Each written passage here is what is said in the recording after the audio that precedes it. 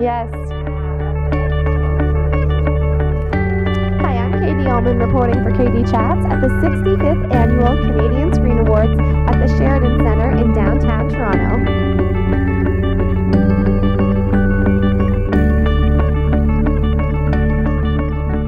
I'm here with Kelly Makin. How does it feel to have won a Canadian Screen Award for Less Than Kind? Uh, it's actually my second award. I won the first season for directing Less Than Kind, and it's won a lot of awards deservedly tonight for the uh, some of the cast and crew.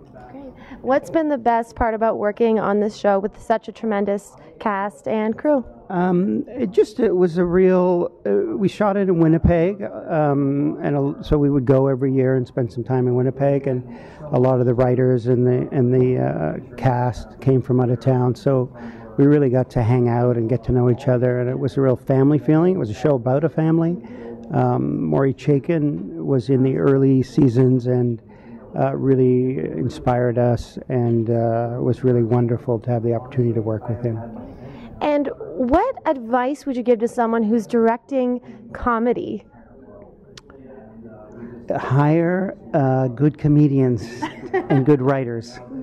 Do you do a lot of takes or give the actors a lot of direction while you're working with them on set?